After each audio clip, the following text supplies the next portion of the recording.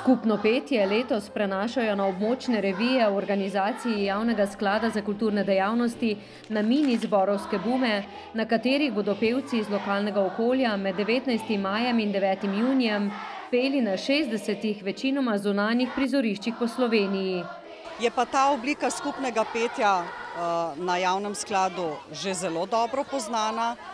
Vsako leto se pojejo ti zborovski bumi, kjer pa se združi tudi do 7 tisoč, 6 tisoč, 7 tisoč pevcev hkrati.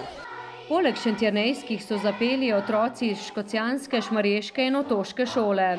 Osem pesmi, enak repertoar, vsaka zborovodkinja je posebej pripravljala.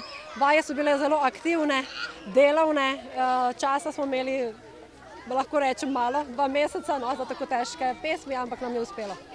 Pa so otroci poznali pesmi, ki jih prepevajo? Ne. Čisto nove so bile?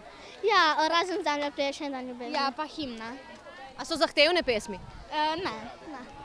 Na letošnjih zborovskih bumih bo nastopilo prek 600 zborov.